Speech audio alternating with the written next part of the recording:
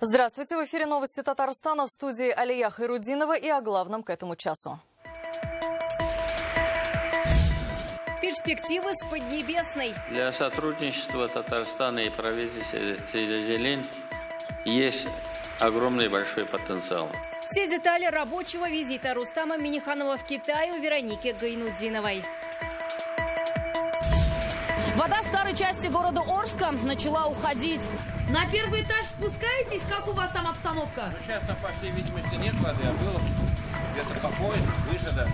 С людьми, которые отказались от эвакуации и продолжают жить в этой части, пообщалась Рания Абдрахманова. Высокий градус. Алкаши всякие ходят по улицам потом. Детей же страшно отпускать. Примут ли в Татарстане так называемый закон о наливайках, ограничивающий работу баров в ночное время, расскажет Рамиль Галиулин. Начнем выпуск с Оренбургской области. Сегодня рано утром сюда прибыл гуманитарный конвой из Татарстана с питьевой водой. Это 20 тонн груза. Его накануне из Лениногорского района отправил Всемирный конгресс татар. Напомним, в понедельник Рустам Миниханов дал поручение правительству организовать эту работу. Более трех с половиной тысяч бутылей передали в распределительный центр через татарскую национальную культурную автономию. Воду здесь будут раздавать всем, кто в ней нуждается. Рамиль Шайдулин о помощи, которая дошла до своего адресата. 20-тонная фура преодолела почти тысячу километров. И вот последние метры перед тем, как начать выгрузку в пункте назначения. Это город Орск, куда накануне из Лениногорска отправили больше трех с половиной тысяч бутылей с питьевой водой. 20 тонн а, а, грузовая машина с гуманитарной помощью, с чистой питьевой водой э, прибыла в Оренбургскую область. Конечно, это трагедия не только для татар, которые проживают всех, а для всех наций и конфессий. Вот сегодня в Орске данная чистая питьевая вода э, раздается всем нуждающимся. Каждую бутыль по цепочке передают волонтеры. Аккуратно складывают в палеты, прежде чем за ними сюда, в распределительный центр, сможет приехать любой желающий. Ситуация с водой в области остается сложной. Пить из-под крана по-прежнему нельзя. Нам вашей помощи очень не хватало. Очень тяжелая ситуация. А все мирные жители у нас города Орска а, своими силами стараются, но от любой помощи не откажем. Огромное вам, татары, наше спасибо. Огромное. Бизур Ахмед. За эту неделю из Татарстана сюда отправили сразу несколько партий гуманитарной помощи. Это и питьевая вода, и вещи первой необходимости, продукты питания. Все это отправляется по поручению Рустама Миниханова. Он сразу сказал соседям, будем помогать. Конвои уже отправили Минсельхоз, исполком Казани, администрация Альметьевска, благотворительный фонд «Нефис» и молодогвардейцы Единой России. Я хотел бы поблагодарить от региональной татарской национальной культурной автономии, от всех татар области, э, правительства Республики Татарстан, Всемирный конгресс татар за своевременную помощь, э, которая поступила к нам сюда в область э, и жителям городов Орска, Оренбурга. Тем, кто не может приехать сам, воду сегодня начали доставлять на машинах волонтеры. Рамиль Шайдулин, Ренат Абсалямов, ТНВ, Оренбургская область. Уровень воды в реке Урал в Оренбурге приближается к 11 метрам. Вода сегодня подошла близко к многоэтажкам. В зону подтопления попадают 2326 домов и почти 4000 участков. Губернаторы областей, где ситуация с паводком осложняется, доложили об обстановке Владимиру Путину. Ряд поручений регионам на заседание правительства озвучил премьер-министр Михаил Мишустин. В короткие сроки должно быть налажено энергоснабжение, восстановлено транспортное сообщение. Все пострадавшие должны получить помощь в срок. Продолжается визит главы Минстроя России Ирика Файзулина в подтопленные районы. Его слова приводят РИА Новости.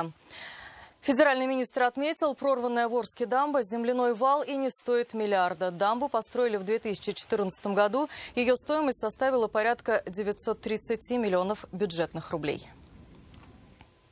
Наша съемочная группа продолжает работу в Оренбургской области. Ранье Абдрахманову и Булату Абдульманову сегодня удалось добраться до старого города. Это та часть, где больше всего затопленных домов и культурно-исторических объектов. Благодаря МЧС их взяли в машину, которая доставляет гуманитарный груз жителям, отказавшимся покидать свои дома. Подтопления талыми водами в городе Орск начались в первых числах апреля. А 5 числа пришло большое бедствие. Прорвалась дамба, и старый город полностью остался под водой. С тех пор на главной площади города, на площади Гагарина, развернут оперативный штаб МЧС России. За минувшие сутки уровень воды уменьшился на 44 сантиметра и продолжает уменьшаться. В целом сил и средств, а, задействованных в ликвидации последствий паводка, достаточно. Сегодня, когда вода уже чуть спала, в течение дня между старым и новым городом курсируют вот такие грузовые автомобили. На них перевозят гуманитарную помощь, эвакуируют людей. Еще два дня назад по этим улицам невозможно было проехать на таких машинах. Ходили на амфибиях. В первые дни мы помогали э, спасаться даже людям. У нас было очень много ребят на лодках. Сейчас уже мы помогаем адресно пострадавшим. Это самая высокая точка старого города – площадь Кириллова. Как только вода начала подниматься, люди стали свозить сюда своих животных и свои автомобили. Вот здесь вот наша мечеть, соборная мечеть. Вот она тоже э, начало прошлого века. От э, наводнения пострадала именно вот эта часть города, получается, От наводнения пострадала именно да, большая часть города пострадала. Вот эта часть пострадала больше всего. В три часа ночи к нам начала идти вода. Шла она с ужасной скоростью. Не успели мы ничего поднять. Дом у нас, естественно, весь под водой. Отец сидит дома, потому что у нас грабят все дома. Он сидит и охраняет. Вы к нему ездите периодически? Плаваете? Да, у меня друзья на лодке. Мы с ними передвигаемся к отцу, привозим продукты, все, что можно. На первый этаж спускаетесь? Как у вас там обстановка? Ну, сейчас там, по всей видимости, нет воды, а было где-то по пояс, выше даже. Это старая часть города Орск, улица Авдеева. Как видите, все частные дома на этой местности находятся под водой. По следам на домах можно увидеть, что вода была намного выше. Сейчас она ушла метра на два, говорят местные жители. Элементарно даже вот этих вот заборов не было видно. Их очень много, машин. Люди вообще ничего не успели забрать из своих домов. Пенсионеров много, конечно. Э, Есть многодетные семьи, кстати, я в том числе. Все ушло под воду. Все, что было в доме, все осталось. Вот. Я как бы ну, работал на должности, заработал сыну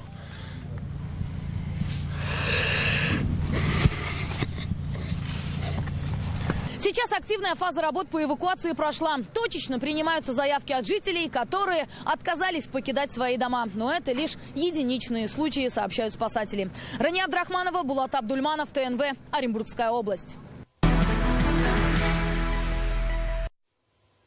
Татарстане могут принять так называемый закон о наливайках. Тогда под ограничение попадут почти 250 точек общепита. Об этом сообщили в Госалкоголь-инспекции. Напомним, с 1 апреля регионы получили право самостоятельно запрещать работу наливаек в многоквартирных домах. Так называют магазины, которые работают круглосуточно, торгуя при этом алкоголем. Рамиль Галиулин о градусе дискуссии. Небольшие бары, или как их принято называть в народе, наливайки в последние годы стали появляться как грибы после дождя. Схема этого бизнеса простая. Предприниматель открывает кафе на первом этаже многоэтажки. Днем оно работает как магазин, а по ночам торгует спиртным. Казань, улица Краснококшайская. Время полдень. На прилавке бара крепкий алкоголь. В холодильниках пиво. Здесь же постоянный клиент с классическим заказом.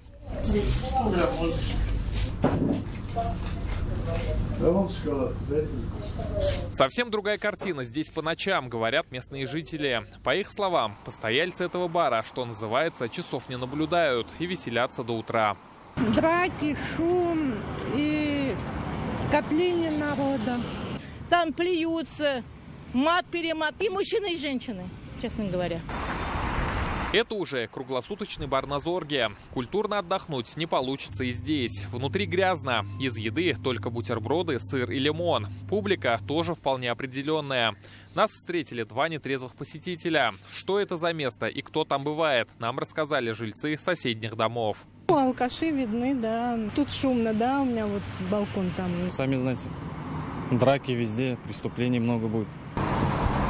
Это кафе в Новосавиновском районе. О том, что сюда давно протоптана тропинка любителями выпить, видно сразу. У входа нас встречает мужчина под шофе. Заходим внутрь. На прилавке крепкий алкоголь. За витриной только вишневый сок. Алкаши всякие ходят по улицам потом. Детей же страшно отпускать. Конечно, пенсионер-то не очень хороший. Чего они хорошие создают? Лучше бы их убрать. Войну наливайкам решили объявить в Госдуме. Принят законопроект, который позволяет ограничивать работу сомнительных питейных заведениях в жилых домах. Так, с апреля регионы вправе устанавливать требования по продаже алкоголя в барах, а также ограничивать время продажи спиртного в точках общепита, расположенных в многоквартирных домах, за исключением ресторанов. Об актуальности документа председатель Госдумы Вячеслав Володин говорил еще в конце прошлого года. В многоквартирных домах это все происходит. Во дворах все происходит, где дети ходят. Граждане отдыхают. Вот об этом речь идет. Поэтому это, извините, бизнес бизнесу рознь и деятельность деятельности. Поэтому давайте здесь исходить из того, что мы занимаемся теми, кто творит зло и кто э, ищет лазейки, нарушая нормы закона, прикрываясь его несовершенством. Подобных жалоб в республике много, отмечают в госалкогольинспекции. Если закон примут в Татарстане, под ограничение попадут 245 точек общепита. Действующих ограничений законодательства по площади зала обслуживания посетителей оказалось недостаточно, как, так как поступает значительное количество обращений граждан о шуме и беспорядках у питейных заведений в ночное время. Новелла направлена на обеспечение благоприятных условий проживания граждан в квартирных домах на первых этажах, в которых размещены объекты общественного питания, осуществляющие продажу алкогольной продукции, а также на снижение криминогенной ситуации. Вернуться к проблеме наливаек в многоквартирных домах. Такое поручение накануне дал исполкому мэр набережных Челнов Наиль Магдиев. Как отметили, в городе остро стоит вопрос с организациями, которые под видом оказания услуг общественного питания круглосуточно торгуют алкоголем, в том числе в многоквартирных домах. Субъекты Российской Федерации, области, края и республики состоят из муниципалитетов. И мы свою точку зрения, с учетом наработанной практики, с учетом обращений наших жителей, тоже должны высказать и изложить. Впрочем, сам федеральный законопроект ничего не запрещает. Он дает лишь право регионам ограничивать работу небольших питейных заведений. Воспользоваться этим правом или нет, будут решать уже местные власти. Рамиль Галиулин, Данил Филатов, ТНВ, Казань. Узаконить принудительное лечение алкоголиков и наркоманов предложили сегодня депутаты Госсовета. О подготовке законодательной инициативы сообщили на заседании Комитета по социальной политике. По словам главного врача республиканского наркодиспансера, в Татарстане недостаточно эффективная реабилитация пациентов. Завершающим этапом выздоровления наркоманов и алкоголиков является трудовая адаптация. Однако за 6 лет работу нашли только 202 человека. По итогам прошлого года случаев алкоголизма стало больше почти на 10%. Ситуация осложняется тем, что при подозрении на алкогольную или наркотическую зависимость человека нельзя заставить сдать тест, нельзя и принудительно лечить. Все газоны загажены. Жители Казани высказали свое недовольство тем, что в центре города отсутствуют специализированные контейнеры для сбора собачьих отходов. Как отреагируют на проблему, читайте в интернет-газете «Реальное время». Главное международное событие дня для Татарстана Рустам Миниханов сегодня с рабочим визитом находится в китайской провинции Цзилинь. Это крупный промышленный и сельскохозяйственный центр Поднебесной. Татарстан заинтересован в развитии более тесных отношений с провинцией. Наша республика имеет давнюю историю деловых связей с Китаем. Товарооборот за минувший год достиг рекордных трех миллиардов долларов. Все детали визита у Вероники Гайнудиновой. Город Чанчунь, столица провинции Цзилинь. В пяти тысячах километрах от Татарстана. Население 24 миллиона. Здесь добывают нефть, газ, железо, золото и серебро. В провинции развиты машиностроение, нефтянка и химическая отрасль, фармацевтика, текстиль и пищевая промышленность.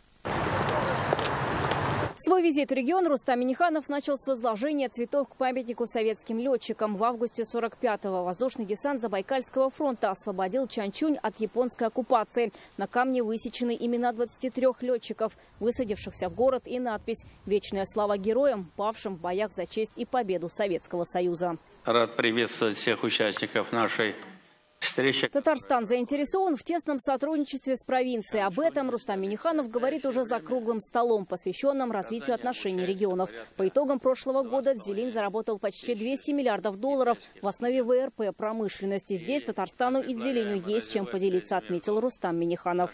Для сотрудничества Татарстана и провинции Дзелин есть огромный большой потенциал. Следует вместе активно работать над его реализацией. Мы сегодня посетили два э, комплекса по производству автомобилей компании ФАУ. Конечно, очень впечатляет. Считаю возможным установление партнерств связи, в том числе и между нашими муниципалитетами наших регионов. В Пекине действует торгово-экономическое представительство республики. В последний раз Раис республики был в Китае в ноябре. Тогда Рустам Миниханов принял участие в открытии выставки высоких технологий в Шэньчжэне и провел ряд переговоров. В Казани работает генконсульство Поднебесной. Новым витком развития сотрудничества между странами стал российско-китайский форум «Ростки», который прошел в Татарстане в сентябре. Татарстан – важная инвестиционная площадка. В условиях стабильного роста двусторонней торговли между Китаем и Россией стремительно растет и торговля нашей страны с Татарстаном, достигая исторических максимумов. Мы надеемся, что ваш визит, Рустам Нургалиевич, станет поворотным моментом и поспособствует развитию деловых связей между провинцией Цзилинь и Татарстаном. В этом году дипломатическим отношениям России и Китая 75 лет. Татарстан вносит свою лепту в их укрепление, подчеркивает губернатор провинции. У нашей республики 7 соглашений с китайскими регионами. 60% импорта в Татарстан идет из Китая. По итогам прошлого года товарооборот вырос в два раза и превысил 3 миллиарда долларов. Приятно приветствовать вас в нашей провинции, учитывая добрые отношения между Китаем и Россией, между Си Цзиньпинем и Владимиром Путиным. Заложена хорошая база для сотрудничества. Мы уделяем большое внимание сотрудничеству с регионами вашей страны. Уже есть план участия татарстанских учреждений культуры в Поднебесной на мероприятиях Года культуры России и Китая. Отдельно обсудили сотрудничество в гуманитарной сфере. Очень важное звено, и он очень перспективное. А, это а, обучение студентов. Сегодня две с половиной тысячи студентов из Китая обучаются в вузах Казани. Я считаю, что а, сотрудничество наших вузов, научных исследовательских центров – это очень перспективное направление. Как отметил Рустам Миниханов, дополнительным импульсом для развития отношений между Татарстаном и провинциями Китая должен стать саммит глав государств БРИКС. Он пройдет в Казани в октябре. Вероника Гайнудинова, Рамиль Галиулин, Марат Хусаинов, ТНВ, Китай. В случае чрезвычайной ситуации более 80% жителей Казани смогут укрыться в подвалах ближайших домов и паркингах. Остальных смогут принять специальное убежище и станции метро. Об этом сегодня заявили на заседании антитеррористической комиссии в мэрии Казани. Как отметили, после обследования пригодными для укрытия в городе признаны более двух с половиной тысяч подвалов многоквартирных домов, также три десятка паркингов и все станции метро, кроме наземной Аметьева. Как отметило руководство города, главная задача при возникновении внештатных ситуаций не допустить паники среди населения. Вопрос защитных сооружений один из самых, безусловно, важных. И за готовность содержания убежищ отвечают предприятия на территории которых они находятся. Это вопрос на совести и ответственности генеральных директоров. Они здесь присутствуют. И эту работу мы начали не сегодня, но сегодня актуальность этого вопроса возрастает с каждым днем. Как сообщили в УВД, с начала года в Казани зафиксировано 1007 сообщений с угрозами совершения террористических актов. За весь прошлый таких сигналов было почти 3000. По фактам заведомо ложных сообщений об актах терроризма только в этом году возбуждено 158 уголовных дел. Всем ведомствам поручено уделить особое внимание безопасности на общественном транспорте и массовых мероприятиях. Усилен контроль за транспортом, прибывающим в республику. Сегодня в Казани отметили День работников науки Казахстана и пятилетие Ассоциации исследователей Золотой Орды. В Институте истории имени Шагабудина Марджани состоялся международный круглый стол. Полсотни ученых обсудили актуальные проблемы средневековой истории Евразии. Во встрече приняли участие генеральный консул Казахстана в Казани Ерлан Искаков и президент Академии наук Татарстана Ревкат Миниханов. Специалисты представили результаты своих изысканий и уже изданные научные труды. Один из них – полная история татары, энциклопедия энциклопедия о татарах Казахстана. Золотая Орда – крупнейшее и многонациональное государство Средневековья. В него входили территории современного Татарстана и Казахстана. Как отмечают ученые, у тюркских народов единая история. Средневековье же представляет сложный исторический период, в котором происходило формирование государств. Многие вопросы для объективности необходимо изучать совместно. История такая вещь, это можно сегодня так трактовать, послезавтра в другой версии. И в этом и заслуга наших ученых, которые постоянно это исследуют, а, находят новое, а, соединяют, и таким образом а, понимается какая-то линия логики, как наши предки взаимодействовали и к чему мы сегодня пришли. Вопрос Золотой Орды, он всегда такой актуален, вообще посягает на эту тему, кто главнее. Но я считаю, что мы все где-то в плоскости вопросов Золотой Орды, и у каждого своя квалификация. Но я думаю, чем больше мы обсуждаем, показываем, находим свое место, Завершился гастрольный тур Альберта Асадулина по Татарстану. Заслуженный артист РСФСР и народный артист Татарстана дал сольный концерт в честь своего 75-летия и полувекового юбилея на большой сцене. Он уже выступил в Набережных Челнах, Нижнекамске, в Бугульме и на родине родителей, в Болтасях. Любимый, яркий и неординарный Альберт Асадулин и атмосфера его творческого вечера в репортаже Светланы Зунаревой. Я пою то, что мне очень нравится. Это лучшее произведение. Лучшее и самое любимое произведение многих-многих лет. За час до начала сольного концерта Альберт Асадулин нашел время для интервью. Он уже 50 лет живет в Санкт-Петербурге. Последний раз с гастролями в Татарстане был 5 лет назад, хотя в Казань приезжает каждый год к родным в гости. Особенно тянет малая родина, где родились его мама и папа. В Балтасинском районе он и дал один из концертов в рамках мини-тура по республике. Из родных деревень, вот э, маминой, папиной деревни, это Рудан, Чапшардан, были все, все родственники. Волнение такое невероятное такое. И они это чувствовали, и э, все волновались и радовались, конечно, очень. Потом директор ко мне подошел и говорит, вы знаете, вот я здесь уже 10 лет, говорит, ничего подобного у нас такого не было. А от вас говорит, такая, типа, такое тепло, говорит, такое, искренность такая льется со сцены, что просто говорит, спасибо вам, мы будем очень рады, что вы еще не раз к нам приезжали. Перед каждым выходом на сцену волнуется, как в первый раз, хотя знает, в зале преданные зрители.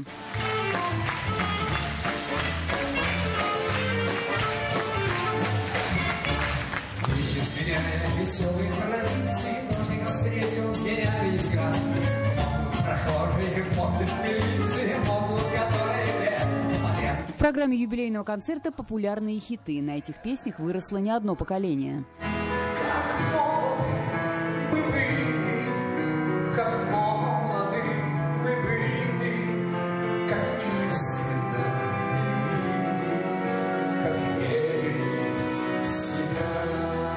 Знаменитый артист, несмотря на полувековую питерскую прописку, прекрасно говорит на татарском. Хотя, как признается, разговаривает на нем очень редко. Чаще поет татарские народные песни. По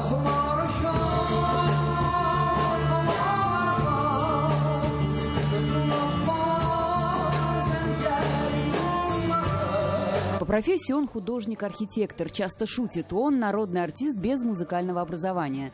Так уж было суждено. Верит в судьбу, благодарит Всевышнего за талант и здоровье. Ведь не всем удается в 75 брать те же ноты, что и в 25. Я ощущаю это, потому что я, я благодарю Всевышнего за то, что я Аллах, перед Аллахом стою после молитвы утренней и говорю, спасибо тебе, Господи. Спасибо тебе, Аллах, Аллах э, за то, что мне все это дал, дал великий дар. На концерт пришли друзья, коллеги по сцене и любители его творчества. Соскучились по песням, уважают за человечность, искренность и золотой голос. Очень рада, что он приехал к нам и что мы действительно э, опять с ним встретимся, и это будет плодотворно, э, чутко. Он входит э, лучшие голоса 20 века. Вот.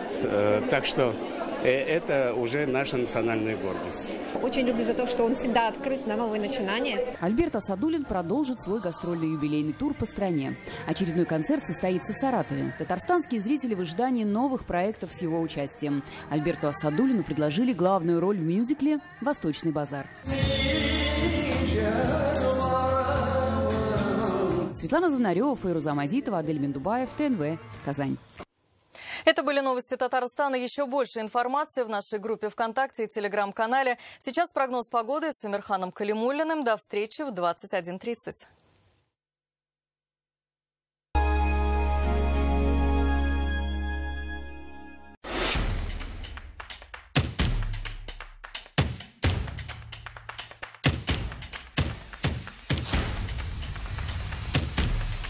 Жилой комплекс «Алтын-Яр» Счастье быть дома. Госпрограмма на автомобиле «Лада» продлена. Новые автомобили «Лада» в апреле по госпрограмме с выгодой до 500 тысяч рублей. Зимняя резина в подарок. Если «Лада», то «Канавто». Хорошая хозяйка знает вкусы каждого. Сытно и недорого. Удобно и быстро. Полезно и легко. Вкусно, как раньше. Густоса. По вкусу каждому. Забота о себе начинается с малого. Больше гулять, работать в саду. А забота о финансовом здоровье начинается в офисах Центра Финанс. Воспользуйтесь акцией на деньги с ежедневным платежом 0 рублей для новых клиентов. Узнайте больше о том, как улучшить свое финансовое самочувствие в офисах Центра Финанс. Как уничтожить колорадского жука? Карада с усиленным эффектом. Убивает и жуков, и личинок. Карада защищает картофель надолго. В России каждая женщина может позволить себе потрясающий крем Любава каждый день. Любава – мой любимый крем. Қозанда күнің истәлеклі, күңеллі өтсін десең, Бауман орамы 31 йыртқа кел. Тылсымлы урманны көру, үтә күренмәле дөньяға шуму, сюрреалистик супермаркетка әләгу. Бұлар барысы да дворец впечатлениеда. Кунаққа күтәбіз. Қозан, Бауман орамы 31 йырт. Эксид. Желаете большего? Достигайте лучшего. В апреле премиальные внедорожники Эксид с преимуществом до 1 миллиона 380 тысяч рублей. Подробности в Эксид-центре РРТ 207 2080. Запомни, если аптека, то фармленд. Здесь ассортимент большой. И цены нормальные, и скидки постоянно. У меня в голове не укладывается. И для головы сейчас купим. А вот видишь, покупать в аптеках фармленд просто и выгодно. А от моей заразы что-нибудь есть? Я все слышу. Хорошая, говорю, аптека. Фармленд. Аллергия может появиться в любом возрасте и часто начинается бессимптомно. Оцените чувствительность к пыльце, продуктам питания и бытовым аллергенам в лаборатории «Гемотест». Скидка на анализы и бесплатная расшифровка результата по программе «Страна Гемотест». Спешите на праздник скидок до 70% в Центральном доме мебели. ЦДМ. Мебель всем. Габдулы Тукая, 115.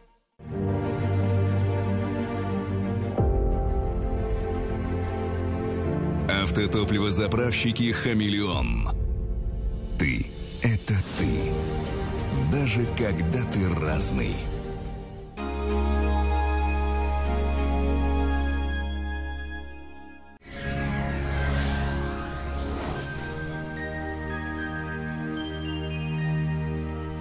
Здравствуйте! В студии Амирхан Калимулин.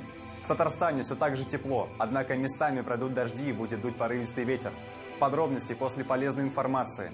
Изготовление любой корпусной мебели от Данил Мастер в апреле со скидкой 20%. Не откладывайте на завтра свою мечту о покупке новой кухни или шкафе-купе по вашим размерам. Узнайте подробности по телефону в Казани 2 167 166. По данным сервиса Яндекс Погода, в Арске, Зеленодольске, Кукмаре облачно. Осадки в виде дождя. Температура днем 14-15, ночью 6-8 градусов тепла. В Тетюшах, Кайбицах и Дрожжаном переменная облачность, без осадков. Температура днем от 14 до 17 градусов тепла, ночью 7-8. В Чистополе, Новошишминске и Нурлатах будет облачно, с прояснениями. Дождей не прогнозируют. Температура днем 15-18, ночью 7-8 тепла. В набережных Челнах, Нижнекамске и Мензелинске облачно, местами с прояснениями. Временами осадки. Днем плюс 13-16, ночью плюс 6-8. В Альметьевске, Урусу и Бугульме температура днем 16-19 градусов, ночью 7-9 градусов выше нуля. Здесь будет переменная облачность, осадков не ожидается. В туристических городах республики будет тепло и сыро. В Суярске температура днем поднимется до плюс 14 градусов. Будет облачно, пройдет дождь. Ночью плюс 7 градусов. В Болгаре днем плюс 13, ночью около 7. Здесь будет облачно с прояснениями, осадков не обещают. В Елабуге ожидается облачная погода, осадки в виде дождя. Температура 15 градусов тепла днем и 8 градусов тепла ночью.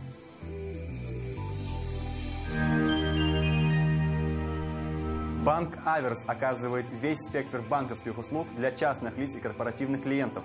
Для бизнеса банк предлагает услуги по расчетно-кассовому обслуживанию, кредитованию, банковские гарантии и продукты с возможностью эффективно замещать свободные денежные средства.